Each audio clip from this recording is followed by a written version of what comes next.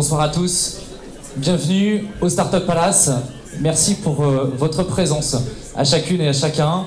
Je suis euh, très heureux de vous accueillir ce soir euh, et je dirais presque ému de vous voir aussi nombreux pour partager avec nous cet événement et ce, moment assez historique de notre premier anniversaire.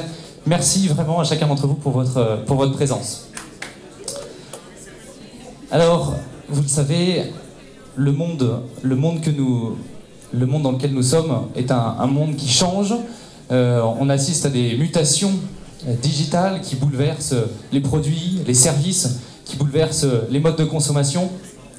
Tout ça, ça pousse les entreprises à repenser leur modèle économique, à trouver des nouveaux relais de croissance. Euh, ça les pousse surtout à innover, beaucoup plus, beaucoup plus vite. Ça leur demande d'embarquer leurs collaborateurs dans ces démarches d'innovation. Et alors, ce qui est assez formidable, c'est qu'aujourd'hui, on a plein de startups qui ont plein d'idées, de produits, de services. Et ces grandes entreprises, peut-être issues euh, souvent de l'économie un peu traditionnelle, eh bien, euh, ont une véritable envie de travailler avec ces startups, ces acteurs de l'économie nouvelle. Mais ce sont des acteurs qui sont extrêmement différents. Et donc, c'est précisément là que Startup Palace trouve sa mission. C'est là que nous avons un rôle à jouer. Notre mission, c'est de faciliter, d'organiser, de structurer des collaborations entre des grandes entreprises et des startups. On parle de- d'expérience d'open innovation. Et pour remplir cette mission, nous avons créé Startup Palace. Nous avons créé un lieu qui est unique, qui héberge des startups ici en résidence, qui héberge aussi des équipes innovation de grandes entreprises.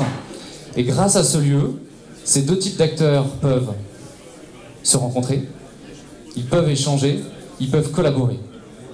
Le Startup Palace est un lieu qui rassemble. On s'est rendu compte que les grandes entreprises avaient à cœur de travailler avec des startups solides, des startups de qualité, euh, des startups qui ont une certaine maturité.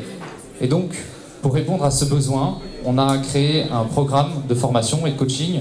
Euh, dans le langage des startups, on parle d'un programme de préaccélération qui s'appelle l'opération éléphant et qui euh, eh bien, a pour vocation à accompagner des entrepreneurs pour euh, leur permettre de faire mûrir leurs projets, de gagner en maturité et de leur permettre d'être à même de pouvoir travailler avec ces, ces grandes entreprises.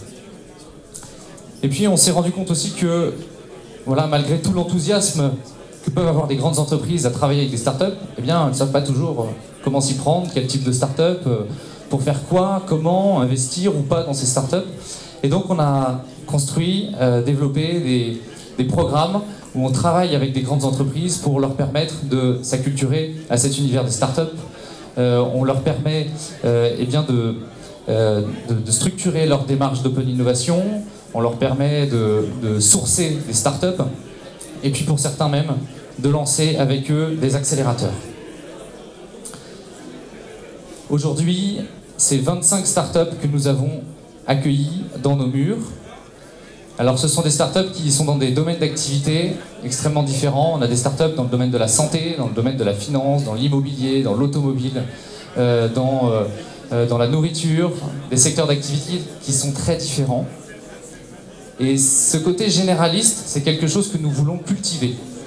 Parce que on pense qu'il y a beaucoup d'innovations qui peuvent naître justement parce qu'il y a des acteurs de secteurs très différents qui se, rencontrent.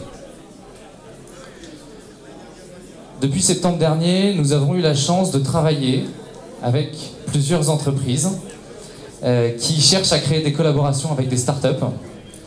Euh, et c'est, je, parle vraiment d'une chance pour nous de pouvoir travailler avec chacun de ces acteurs. Alors ils ont des objectifs différents, on a fait des choses un peu différentes avec chacun de ces, chacune de ces entreprises, mais toujours dans un, objectif de travailler, de développer des collaborations avec des startups. Alors pour faire tout ça, on a une équipe qui est assez formidable. Je vais dire deux mots sur cette équipe. Euh, c'est une équipe qui est composée d'une incroyable richesse de talents. On a des designers, on a des développeurs, des ingénieurs, on a même un chercheur. Euh, on a des gens qui sont des spécialistes de tout ce qui est stratégie de développement d'entreprise. On a des spécialistes de la finance, euh, des chefs de projet, euh, et on a même des personnes qui sont en charge d'animer ce lieu, de faire le maximum pour que ce lieu soit le plus cool possible, un lieu où il fait bon vivre et bon travailler. Alors il y a la diversité des compétences, c'est une chose, euh, mais je voudrais insister sur la, la richesse de l'expérience de cette équipe. Dans nos collaborateurs, on a des personnes qui ont 20 ans et on en a d'autres qui ont 60 ans. Ce que je veux dire par là, c'est que dans notre équipe, nous avons des gens qui ont entre 30 et 40 ans d'expérience professionnelle et c'est autant d'années et autant d'expériences qui sont mis au profit et à disposition de toutes les startups et de tous les projets qui sont euh, euh, hébergés ici au Startup Palace. Alors, on a développé euh, un certain état d'esprit. Mathieu Legac et Benoît de la Selle, donc qui sont cofondateurs du Startup Palace avec moi. On a tous les trois, chacun ces dernières années, eu l'occasion de, créer d'autres entreprises. Et notre culture, elle est fondée sur la mesure permanente des choses. Euh, et, ça, c'est quelque chose qui est vraiment fondamental, c'est-à-dire que tout ce qu'on fait, tout ce qu'on, une soirée, un produit, un service, un événement, un lieu, eh bien, tout est mesuré parce que on a euh, l'ambition de faire des choses utiles et des choses essentiellement efficaces, avec une forte culture du héroïsme sur l'ensemble de nos actions. Alors cette équipe, que j'ai présenté, l'état d'esprit, notre culture, nos partenaires. Euh, voilà, tout ça, eh bien, ça nous a permis de vivre euh, une première année avec euh, d'une intensité assez incroyable, et je vais revenir sur quelques dates. Mai 2015. En fait, c'est pas anodin si on fête notre premier anniversaire aujourd'hui au mois de juin. le 7 mai 2015, c'est le jour où on a pris la décision de déménager de nos précédents bureaux. Le 11 mai 2015, c'est le jour où on a visité ces bureaux. Et début juillet 2015, le projet était en phase d'exécution, en mise en œuvre. On avait déjà, on, avait créé au début juillet 2015 Startup Palace, une société. On avait rassemblé quelques fonds privés et l'aventure démarrait pour ouvrir ses portes en septembre 2015. donc en septembre 2015, on accueillait déjà les premières startups. Novembre 2015, Olivier de Marignan, directeur général de Banque Populaire Atlantique, était présent ici et devant 80 dirigeants du MEDEF, il partageait ses problématiques en matière de transformation digitale pour sa banque et il annonçait qu'une de ses équipes innovation allait s'installer ici pour plusieurs mois. Décembre 2015, eh bien, euh, c'est un élément qui est phare ici au Startup Palace, c'est la notion de convivialité. On fêtait Noël autour du Père Noël avec euh, les familles de tous ceux qui travaillent euh, ici. Janvier 2016, l'établissement affiche complet. Février 2016, on lance euh, la deuxième édition de notre programme de préaccélération, l'opération éléphant. Donc de nouvelles startups qui viennent rejoindre l'aventure.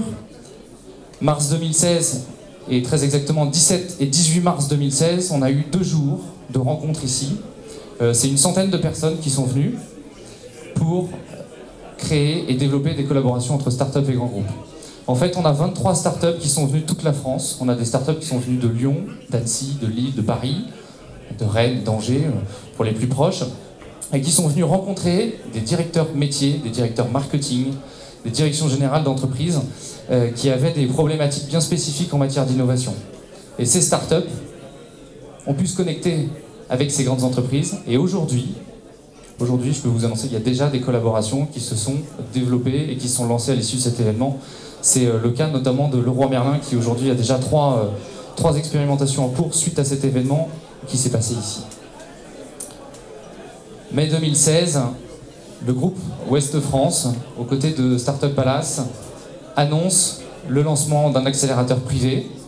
Donc Nantes, accueille à partir de mai 2016 un accélérateur sur son territoire. C'est un accélérateur qui fait un pont d'ailleurs entre deux métropoles French Tech, entre Nantes et Rennes. Donc concrètement, le groupe Ouest France va accueillir euh, euh, une petite dizaine d'entreprises, une petite dizaine de start-up pendant un an, va les faire travailler avec ses collaborateurs, euh, va même investir jusqu'à 150 000 euros en capital par start-up et l'ensemble de ces startups seront hébergées ici. Pourquoi j'en parle Parce que c'est toute notre équipe du Startup Palace qui a travaillé avec le groupe West France pour préparer, construire cet accélérateur, le lancer et l'animer. Les candidatures sont ouvertes jusqu'à ce soir, 23h59. Vous pouvez encore candidater et votre candidature euh, viendra s'ajouter aux 130 startups qui ont déjà postulé pour rejoindre ce programme. Ce soir, juin 2016, 260. C'est le nombre que vous êtes. C'est le nombre de personnes qui ont répondu présent à cette soirée. C'est un peu de fierté quand même. Euh, merci votre, de votre présence. Startup Palace, aujourd'hui c'est 120 personnes qui travaillent ici, 25 startups. Si on additionne l'ensemble des fonds qui ont été levés par les startups qui sont en résidence ou qui ont été en résidence au Startup Palace, c'est 80 millions, 82 millions d'euros dont on parle. C'est assez, assez colossal. Et puis, depuis euh, le mois de septembre, eh bien, nous avons un grand nombre d'ETI, de, de grands groupes, qui viennent ici au Startup Palace. Alors, ils viennent pour, euh, dans le cadre d'une visite, dans le cadre d'une Learning Expedition, dans le cadre d'un séminaire, d'un comité de direction. Ils y viennent pour euh, rencontrer des startups. Pour certains, ils viennent aussi pour préparer de futures collaborations avec nous, avec Startup Palace. Et en fait, c'est pas anodin d'avoir toutes ces entreprises qui viennent ici. Je vais vous dire pourquoi. Parce que ça répond à notre mission de rapprocher des startups de leur marché. Toutes ces grandes entreprises qui viennent ici, elles rencontrent des startups, et donc c'est autant d'opportunités de contact et donc de business pour les startups résidentes ici. Aujourd'hui, depuis euh, quelques mois, on totalise 130 événements qui se sont déroulés euh, au, sein de nos, locaux et qui ont accueilli près de 3500 personnes. C'est énorme. Et je terminerai par un seul chiffre. Le Startup Palace, c'est un, modèle euh, privé qui fonctionne sur fonds privés. C'est un modèle rentable. Nous allons clôturer notre premier exercice comptable au 31 décembre 2016. Et euh, je peux déjà vous annoncer que euh, c'est un exercice qui sera à l'équilibre pour cette, pour cette première année. Alors au-delà des, chiffres, euh, le Startup Palace, c'est d'abord une aventure humaine qui a été vécue, euh, comme vous le voyez, à toute vitesse. C'est le rapprochement de trois entrepreneurs qui euh, sont devenus maintenant trois amis. C'est le rapprochement de trois entreprises euh, qui avaient le désir de travailler ensemble et qui vont certainement travailler de plus en plus ensemble et qui se rassemblent maintenant derrière cette, entreprise Startup Palace. Durant cette année, on a rencontré beaucoup de gens, beaucoup de personnes, beaucoup de dirigeants, beaucoup d'entreprises, et on a beaucoup appris au contact de toutes ces personnes. Euh, on, a, on sûr de rien. On a des intuitions, on a testé beaucoup de choses, on a mesuré, comme je vous l'ai dit, euh, on continue d'avancer. Voilà, on apprend en marchant, et, ça c'est une, vraie... Euh, on continue d'apprendre chaque jour, et pour nous c'est une vraie richesse je voudrais aussi vous partager une chance qu'on a euh, ici au Startup Palace. C'est que tous les jours, on côtoie des nouvelles idées, des innovations de produits, de services. On voit des entrepreneurs, mais pas que. On voit des salariés aussi, de start-up ou de grandes entreprises. Et toutes ces personnes, elles viennent ici avec une pêche assez géniale. Euh, les gens qui travaillent ici, ils travaillent avec un enthousiasme et une passion très forte et ça, ça fait du bien. Ça fait du bien euh, parce que bah, quand on voit tout ce qui se passe dans notre, dans notre, dans notre économie actuelle, eh bien, ça nous donne un regard ici très positif et très, on est très optimiste finalement sur, euh, sur notre économie. Depuis le début de l'histoire, on avait toujours cherché à créer quelque chose d'unique, euh, tout simplement parce que nos clients sont uniques, nos partenaires sont uniques, on a un écosystème ici qui est unique, vous êtes unique. Et euh, tout ça, voilà, nous, a vraiment motivé à faire quelque chose de, euh, pas du tout de copier, mais vraiment quelque chose de spécifique. Alors aujourd'hui, on, nous compare de, plus en plus à, à Nouma. Euh, alors c'est très flatteur, peut-être que euh, peut-être qu'un jour on aura leur envergure, qui sait. Mais ce qui est certain, c'est qu'on s'attache tous les jours à faire quelque chose qui répond simplement aux besoins de nos clients. Voilà. Et on va continuer dans cette, dans cette démarche d'être le plus possible à l'écoute. Vous l'avez vu, ça a été une année assez dense, assez rapide. Donc notre ADN, c'est la vitesse d'exécution. Et on va poursuivre ce développement. Je vais vous donner trois axes de, de développement. Le premier, c'est notre programme de formation auprès des startups. Donc nous avons créé l'opération éléphant. Cette opération éléphant, c'est un programme qui est reconnu pour la qualité euh, de son contenu, de sa pédagogie et de sa méthodologie. Et ça nous a amené à dupliquer ce programme à Angers, euh, où nous travaillons avec euh, un acteur public en collaboration avec eux, donc avec la Technopole d'Angers. ce programme, donc Opération Éléphant, est dupliqué sous le label Opération Renard. Et aujourd'hui, nous avons de nombreuses euh, études euh, qui sont en cours pour déployer et dupliquer ce programme dans d'autres villes de France, dans d'autres métropoles, euh, voilà, dans l'Ouest, mais pas que, puisqu'on a des contacts sur Toulon, sur Marseille, sur Avignon et bien d'autres villes encore. Donc 2016 devrait voir venir d'autres programmes de ce style sur d'autres territoires. Le deuxième axe, c'est euh, notre activité de, programme pour grands groupes. On a eu cette, euh, chance euh, de pouvoir travailler avec le groupe Ouest France, de lancer l'accélérateur du groupe Ouest France.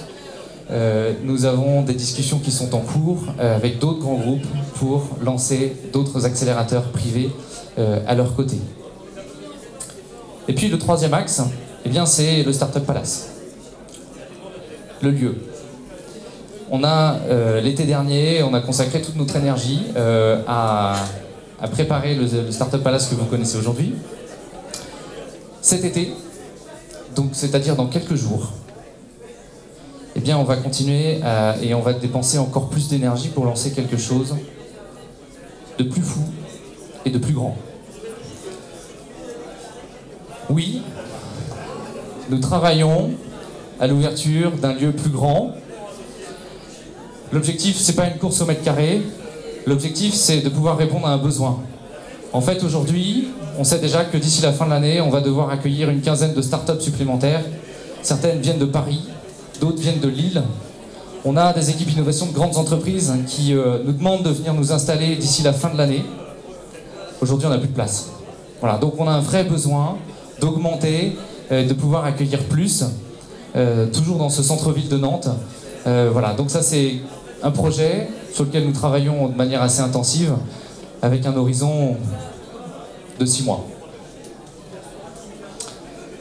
Voilà, notre mission, eh bien, elle est aussi au service des territoires. Euh, et du coup, je vais euh, laisser euh, la parole à Laurent Prétro, qui est vice-président de la région des Pays de la Loire, et puis ensuite à Johanna Roland, maire de Nantes, pour illustrer la manière dont Startup Palace s'inscrit et la volonté qu'on a de s'inscrire dans la dynamique de développement économique des territoires.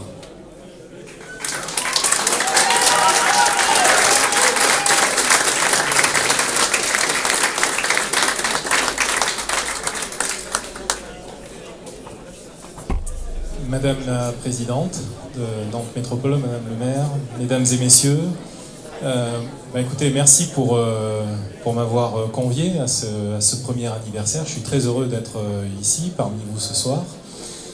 alors effectivement, Startup Palace, on le voit bien ici, un plaisir d'abord d'être, hein, puisqu'on s'y sent bien, on, circule bien, il y a une âme effectivement évidente et indéniable dans ce, dans ce lieu. Donc vous l'avez dit, moi je tiens à souligner d'abord le fait que Startup Palace, c'est une vision, c'est la vision partagée de trois individus euh, qui euh, donc ont euh, effectivement voulu confronter, rapprocher le monde de la startup et le monde de l'économie traditionnelle, si je peux dire, tout au moins en s'adressant à des grands groupes.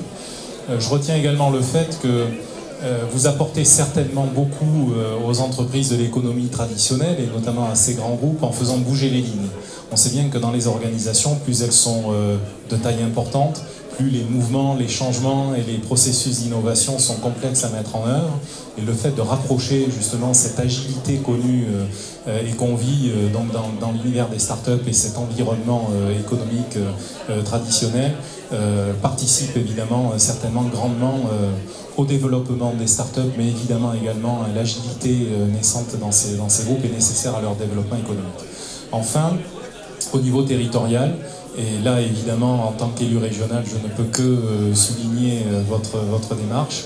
Euh, nous avons besoin au jour d'aujourd'hui, incontestablement, de considérer que l'économie numérique est une économie qui arrive sur une phase de maturité certaine et qu'on a besoin effectivement de transversalité on a besoin de jouer cette carte de la formation, comme vous l'avez euh, évoqué, et également du rapprochement euh, entre les métropoles euh, territoriales et entre les territoires en général. La ruralité est un vrai sujet qui, intéresse évidemment le monde du numérique. Et donc, sur le plan territorial, c'est évidemment une chance que d'avoir un acteur comme, comme Startup Palace ici sur le territoire et donc à Nantes. Voilà, je ne vais pas être plus long. Euh, encore une fois, merci beaucoup euh, pour votre euh, invitation. joyeux anniversaire, évidemment. Et puis, je suis certain, au regard de ce que l'on vit et de ce que l'on vient de voir en termes de présentation, et donc des ambitions qui sont les vôtres, qu'on aura certainement l'occasion de se retrouver à nouveau de nombreuses années à venir pour souffler d'autres bougies. Merci beaucoup et bonne soirée.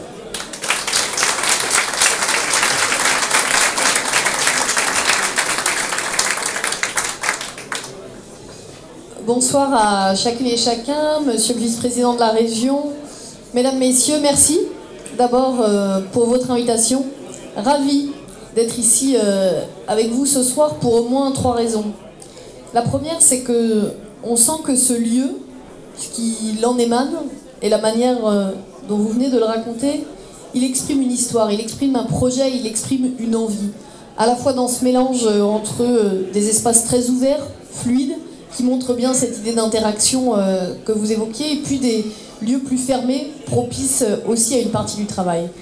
Et moi, je reçois euh, le projet Startup Palace comme ce mélange entre un vrai professionnalisme, une vraie exigence, une vraie ambition, au bon sens du terme, et en même temps ce grain de folie, assez nantais, alors forcément, je dois reconnaître que ça me plaît assez. La deuxième raison qui me fait être particulièrement heureuse d'être parmi vous, c'est les résultats que vous avez obtenu. Parce que je crois que dans la période dans laquelle nous sommes, on a besoin effectivement d'évolution de modèles dans un monde en transition, numérique, euh, écologique, euh, démographique. On a besoin d'hommes et de femmes qui sont en capacité non pas de subir, mais d'être acteurs et de contribuer à inventer ces nouveaux modèles. Et quand on voit les chiffres que vous avez rappelés, le nombre de start-up accompagnées, le nombre d'emplois en jeu et surtout cette capacité à travailler avec des grands groupes, dans cette logique de spillover, où on va croiser euh, le regard euh, d'une économie dite traditionnelle et le regard d'une économie dite numérique, ça c'est essentiel. Et à Nantes, ça l'est particulièrement, parce que si Nantes a mieux résisté que d'autres villes à la crise, c'est justement grâce à la diversité de son tissu économique. Et la capacité de votre projet à irriguer différents secteurs euh, d'activité, c'est gagnant-gagnant. C'est gagnant pour le privé, mais c'est gagnant aussi pour le public parce que pour le territoire. Moi, je crois beaucoup à cette intelligence collective qui joue le partenariat public-privé, chacun dans son rôle, chacun dans ses responsabilités, mais qui est capable de nous faire aller euh, plus loin. Alors, très prochainement, le 13 juin, je crois, ne le tweetez pas parce que normalement, je n'ai pas le droit de le dire, Axel Lemaire annoncera euh, la confirmation de la labellisation numérique euh, nantaise. Moi, j'ai envie de vous dire ce soir, la Nantech, c'est vous. La Nantech, c'est vous.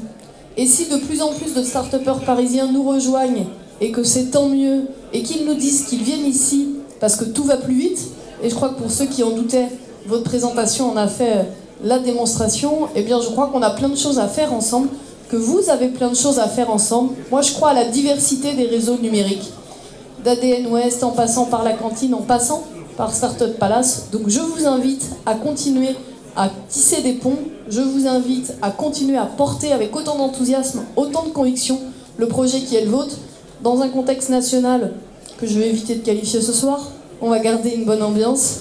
Je crois que des choses qui marchent, des choses qui réussissent, des hommes et des femmes qui ont de l'enthousiasme, du plaisir à travailler ensemble, et un territoire où on est capable d'inventer les solutions, ça donne envie. Merci.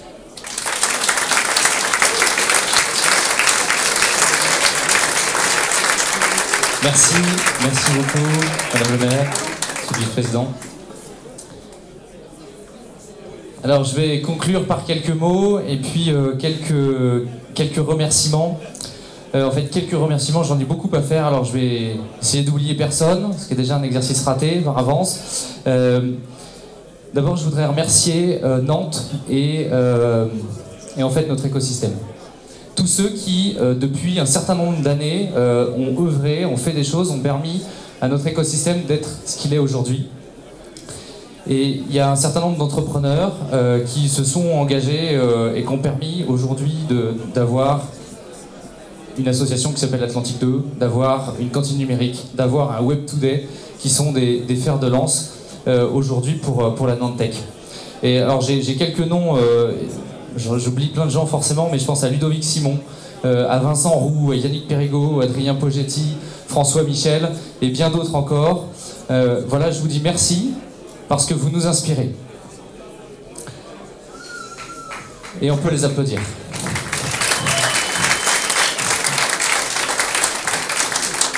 Ensuite, je, voudrais remercier euh, l'ensemble de nos partenaires. Alors, c'est un, mot très large pour euh, définir d'abord tous ceux qui travaillent ici au Startup Palace et qu'on a la joie de côtoyer tous les jours. Merci, merci pour votre confiance. Euh, tous les jours, on s'attache à faire des choses les plus qualitatives possibles pour vous. On a bien l'intention de continuer, d'aller encore plus loin. Voilà, donc merci de la, la confiance que vous nous accordez. Et puis, alors, j'ai une liste de plein de gens. Christophe Cadenas, Charles Bonnel, Anne Fleuret, Olivier de Marignan, Fabrice Bazar, Paul Graham, euh, Stewart Butterfield, fondateur de Slack, Jacques Darbois, Guillaume Morino, Thomas Morin, Arnaud Giraudon, Gwenola Clergonou, Adrien Pogetti, Fleur Malouine, Francky Trichet, Claire El Gamadi, Christophe Clergeau, Julien Hervouette, Bruno Hugues de la Rose, Marcel de Sailly aussi, Laurent Tricard, Christophe Angot. Je voudrais remercier aussi Corinne, euh, Kitry, Anne-Laure, Clémentine. Euh, voilà, vous tous, euh, un grand merci.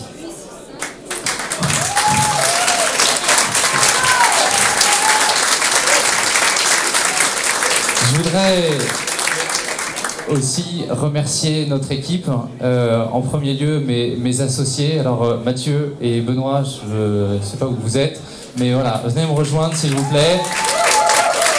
Et Benoît. En général, Benoît, il est planqué au fond. Voilà, c'est. Voilà, merci, euh, merci à vous pour cette aventure euh, humaine d'abord et puis entrepreneuriale qui est forte. Merci. Je voudrais qu'on remercie aussi Laura. Alors, est-ce que Laura peut venir?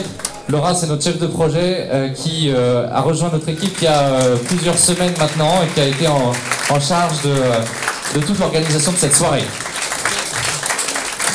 Je voudrais aussi remercier Emma et Valentine. Voilà, si vous pouvez venir, Emma et Valentine, tous les jours, elles accueillent les gens ici et elles animent, elles sont en charge du, sujet euh, happiness et elles font de ce lieu un lieu magique. Merci. Et puis je voudrais euh, voilà aussi remercier et vous allez nous rejoindre Bérénice, Nadia, Hélène, Aurélie, Anita, Clara. Voilà, si vous pouvez nous rejoindre.